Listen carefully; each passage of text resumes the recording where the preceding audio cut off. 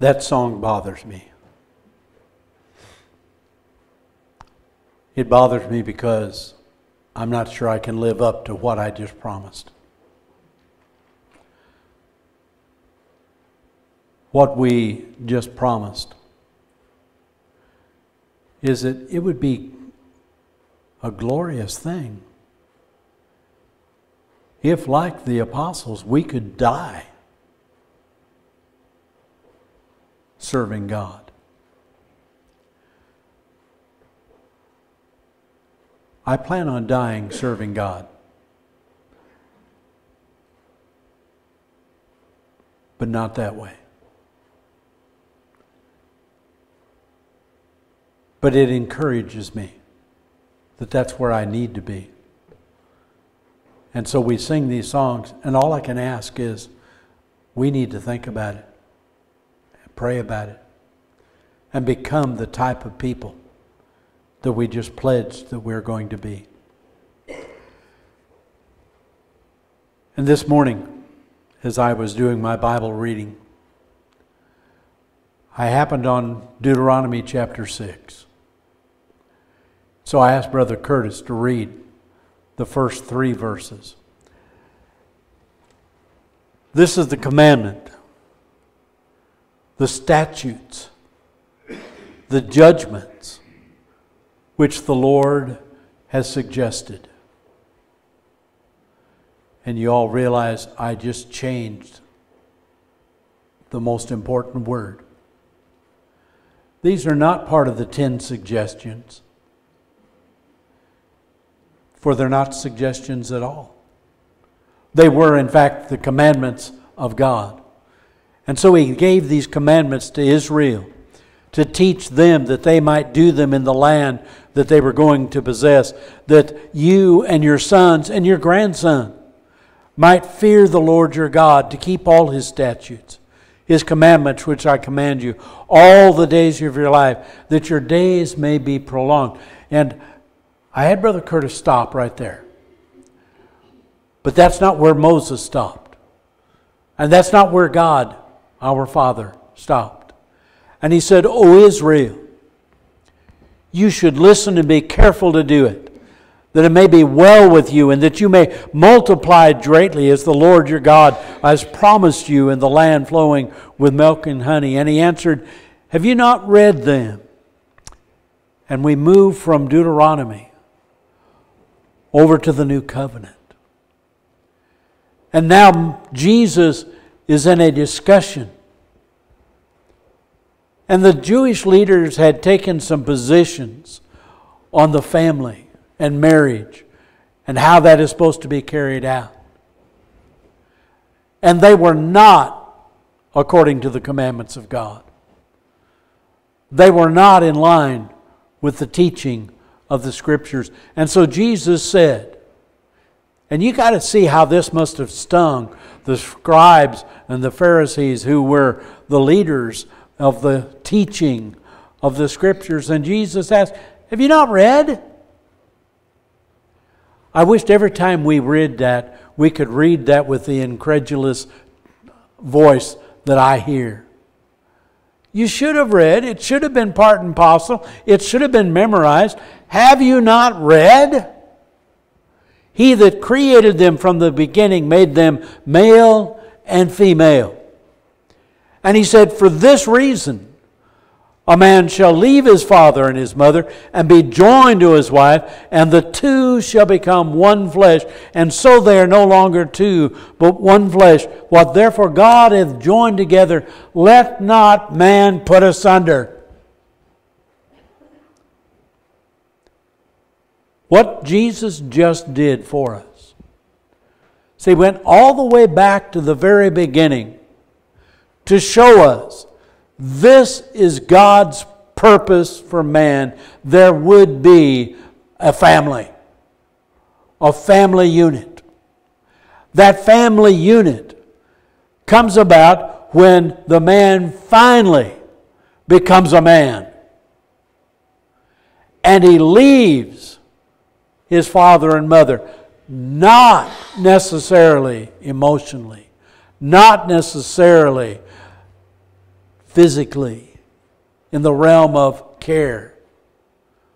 But what happens is he now becomes the head of his family, the head with his wife, and the two of them now have become one new man joined together. And this was the family unit. And from that family unit, he was to cleave unto his wife. And the Hebrew writer, the Ephesians writer says, Husbands, love your wives, even as Christ loved the church. Love your wife, even as you love yourself, putting her needs at the beginning. And then it goes on. Loving us he says, Fathers, provoke not your children to wrath, but bring them up in the nurture and the admonition of the Lord.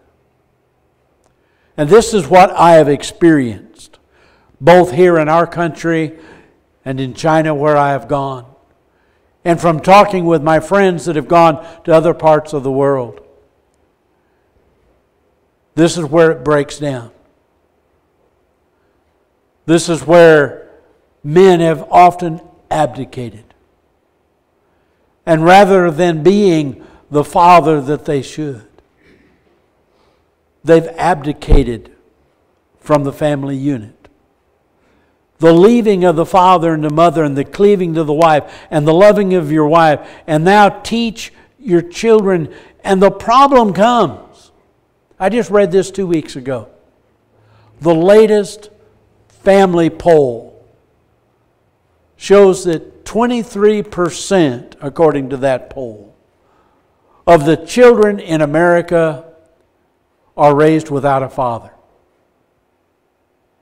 Y'all realize physically they had a father,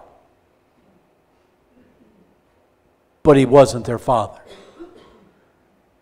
He didn't live with them. He did not teach them. He did not love them. He did not instruct them. He did not bring them up in order that they could leave and cleave unto their wife and have their children and teach. But I found out this was not true in China either. The one of the biggest problems that's happened in China is the breakdown of their family units. I was taken aback that as I was trying to teach in the classes, what I began noticing is we usually had two times the number of women as we had men that would come to these classes. The first question when I ask, Is there any particular subject you would like me to teach this morning? And without hesitation, they said, Would you teach what the husbands are supposed to be like? Because they did not know. They had not seen that in their fathers, and they're not seeing it now in their wives. And then I was just in a meeting with a friend of mine who has made trips to Africa, and he took his wife with him the last time. And while they were there, the women had a large, large group of women, and they kept her busy all day long teaching women to women. And over in the men's class, it wasn't that popular. It wasn't that populated. And what they discovered, my friend said, was they had the same problem there that I saw in China that we have in this country. And what God expects is that we would have a family unit made up of a wife that honors her husband, and a husband that loves his wife, and a husband that teaches his children to love the Lord. Now that started clear back in Genesis. When God chose Abraham, do you realize how many times Abraham is mentioned in the Bible? I'm going to challenge you. If you don't have a computer program that'll do this, go get you one of those strong concordances. You know, those great big books with little bitty type. And look up Abraham. And start counting the number of times and the number of books that Abraham gets mentioned in, even way into the New Testament. And what made Abraham so great was his absolute trust in God and his trust so much that it poured out into his children. For God said, I have chosen Abraham that he may command his children and his household after him to keep the way of the Lord by doing righteousness and justice. And so the Lord may bring upon Abraham what he has spoken unto him. This was a remarkable passage to me. What made Abraham a chosen person was the fact God could see that his faith was so great, it was going to be imparted to his children and to his household servants and slaves, grandchildren, the neighbor's children, that he was going to be this kind of a father. And so Abraham became known as the father of the faithful. And I like that phrase. But then as you move, God gave this new covenant to Abraham's descendants. God revealed unto them that He had chosen them to be special, and He gave them a special law, straight from God to them as a people. And He said, Give heed to yourself and keep your soul diligently, so that you do not forget the things which your eyes have seen, and they do not depart from your heart all the days of your life, but make them known unto your children and unto your grandsons. The grandsons did not experience Egypt. The grandsons did not experience the manna. The grandsons did not experience all the things that this generation had experienced, but they could experience it through the telling of the story. So when your children ask, What does this mean? A friend of mine preached a sermon on that, and he added one word just for emphasis. So when your children ask, What does this mean to you? Can you imagine how Abraham would have told the story? How Joshua would have told the story? Those that had lived through this and come out the other side receiving the promises of God, they told it unto their children and they told it unto their grandchildren. And so God commanded these words, which I'm commanding you today, they shall be in your heart. That is, your whole being will be consumed by the very teaching of God. And you will then teach them diligently to your sons and shall talk of them when you sit in your house, when you walk by the way, when you lie down, when you rise up. You shall bind them as a sign in your hand, and they shall be as frontals on your forehead, and write them on the doorpost of your house and on your gate. This is what God expected of the family. And to the fathers, he said, Here's your job. Talk about him. Talk about him. When you get up, when you go to bed, and every point in between. When you go out of the house, when you come in the house, when you're walking down the way, every part of the day. Teach your children so that they can know what God has. So let this be a sign among you. So that when your children ask later, saying, What do these stones mean to you? you shall say to them. Now, the children of Israel had come up to the Jordan River. And in its flood stage, as God had parted the Red Sea, He now parted the Jordan River. And they walked across on dry land. And Joshua said, Take these stones, a few of these, and bring them out. And so each one of the tribes participated, and, and they built an altar out of these stones.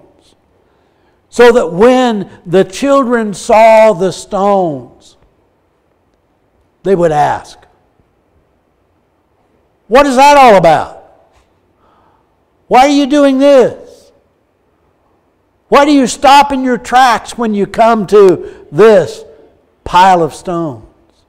When they ask, you can say, because the waters of the Jordan were cut off before the ark of the covenant of the Lord. When it crossed the Jordan, the waters of the Jordan were cut off. And so these stones shall become a memorial to the sons of Israel forever. And you know what we have? A memorial. A memorial so that our children, and this happens in every family.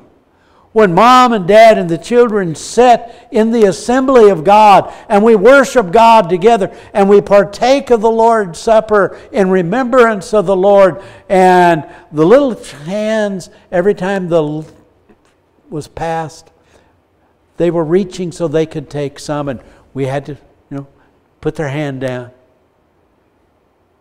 And you can hear the little innocent voice what's that why do you do that? And God has given the memorial so that within the family unit, the fathers can take them aside and say, This is what that is all about.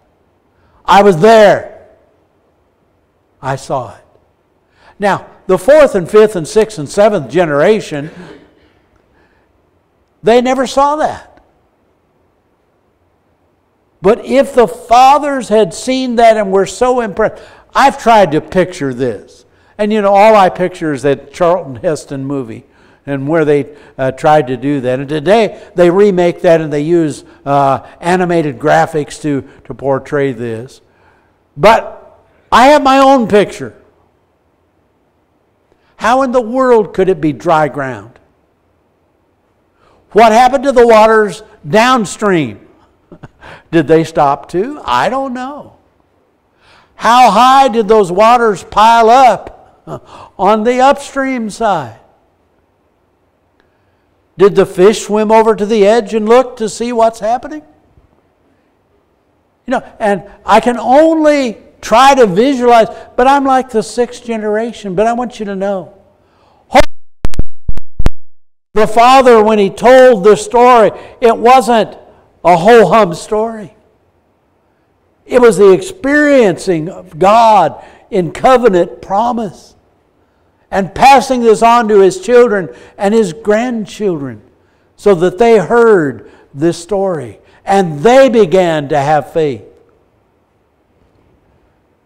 Proverbs is filled with this, and I'm not going to keep all of them, but I just picked. Hear the instructions of your father and give attention that you may gain understanding. For I give you sound teaching. Do not abandon my instruction. When I was a son to my father, tender and the only son in the sight of my mother, he taught me and said to me, Let your heart hold fast to my words, keep my commandments, and live. There is the father in the family situation. And this is the instruction that God gave. Fathers, Teach your children well. Teach your children what it means to love and to serve God. And thus, there's a pile of commandments. But you get to the New Testament, and this doesn't change. It's still the family unit. Fathers, teach your children. You know, on Facebook today, for you that are on that, you're going to see picture after picture after picture. And I was just quickly scrolling through, and all of a sudden, here was a face I recognized. The first congregation that I preached in, we had an elderly gentleman that had been an elder in the Lord's church back in California. But now had retired from preaching and was now a cow farmer. raising cattle in Oklahoma. And he built two houses. One was his house with a great big living room, and the other was his daughter's house, the son in law's house. And in that house was a whole pile of children, grandchildren. And I remember the first Sunday I got there to preach, and I preached and I did the, the best I could. I have no idea how good that was. And when I got done, he met me at the, the back door. Now, he's a big German background man. And he put his big arm around my shoulder and he said, We want you to come and have lunch with us. So we packed up and we went over to his house for lunch, and they didn't have furniture yet. They had just gotten into this house. And so here was me and my little son and all those grandkids. And we got down on the floor with Grandpa. And Grandpa started playing a game Who Am I? And he would start telling a story of what happened to him. And all of those grandchildren and me, we were to pick out. How did they know that story? And the answer is because that wasn't the first time that happened. And when they would come over, he would talk with them about the Bible and about the people and about Abraham and about David and about Jesus and about the apostles until they had this story living in their life because it lived in his life, one of the most godly men I've ever been around. And he was a picture in my mind of what God wanted in a family unit. Teach your children and your grandchildren so that they can know this. In the book of Hebrews, they were suffering, and the Hebrew writers encouraging them. And he said in chapter 12, It is for discipline that you endure. You don't quit, you keep going. You straighten out the problem and come back to the right way, and you walk in the paths of righteousness. It's discipline of the Lord. God deals with you as with children. For what son is there whom his father does not discipline? If you are without discipline, of which all become partakers, then you're illegitimate children and not sons. And I'm going back now to where I started.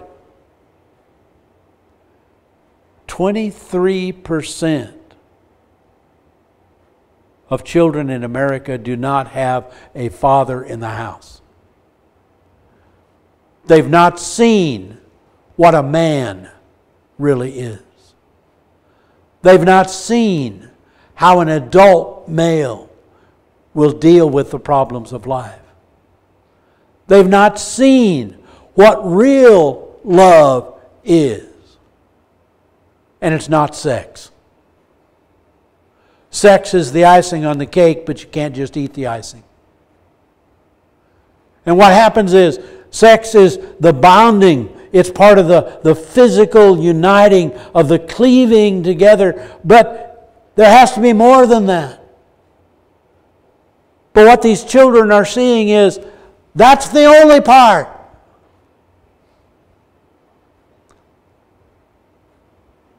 I hope your family is different. I hope that talking about this, you can look back and say, that's not my story. My dad was there. My dad played baseball with me.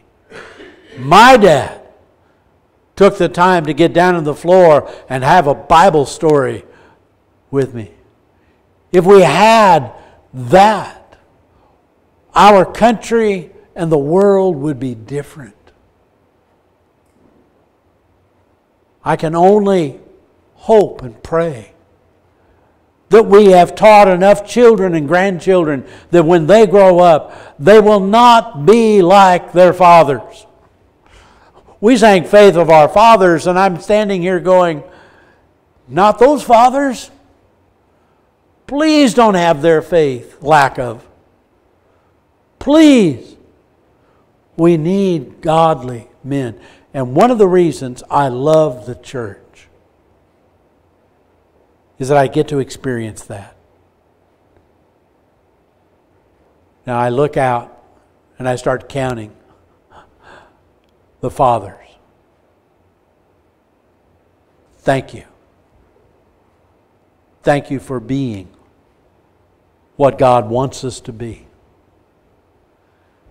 And then we sing Faith of Our Fathers, and we realize that even without the actual, literal, physical father of the genetic line. I have spiritual fathers before me.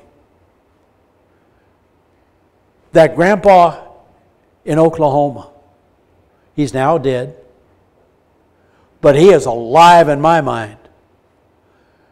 Because, you know, almost every Sunday after that, we went over to his house and ate lunch and sat on the floor. Even after we got the furniture, and played some kind of a Bible message game. I, I found those to be the best Bible classes I've ever sat in. And we can do that. And we can be that. And so, Hebrews says, We had earthly fathers to discipline us, and we respected them. Shall we not rather be subject to the Father of spirits and live?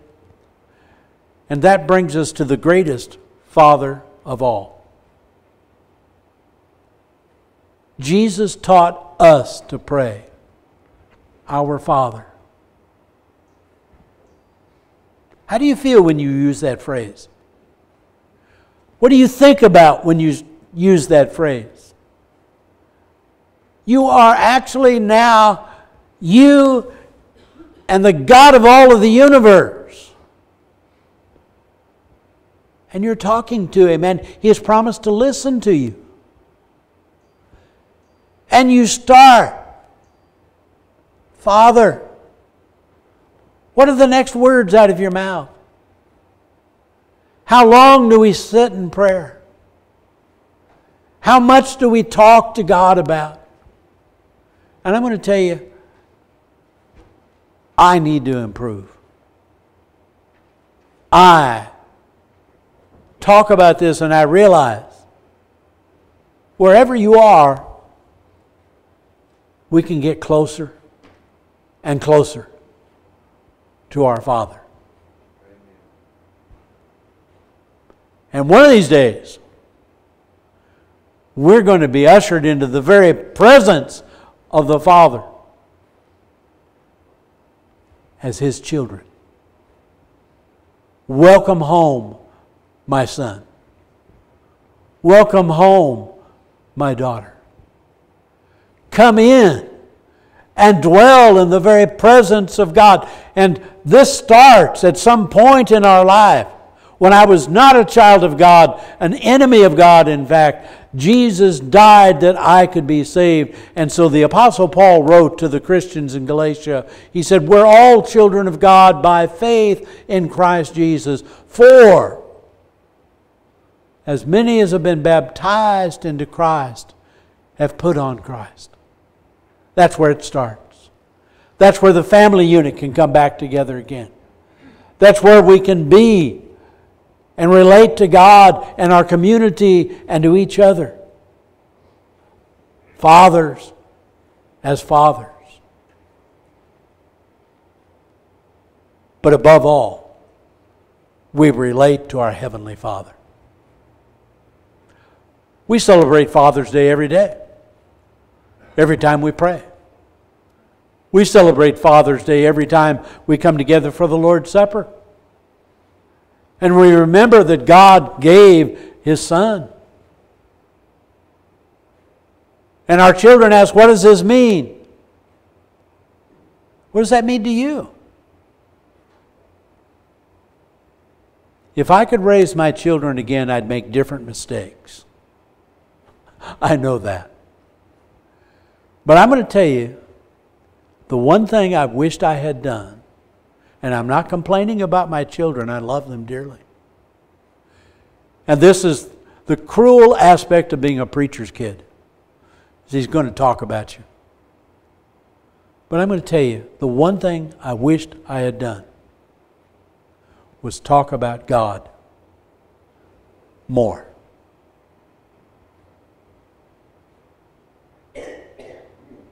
But I didn't. But I did enough. And so we remember the greatest Father of all by obeying His commandments given through Jesus. And that starts with arise and be baptized and wash away your sins. And if you're subject to that, make him your father today and have the greatest father of all eternity. If you're willing to do that, we invite you to come as we stand and sing.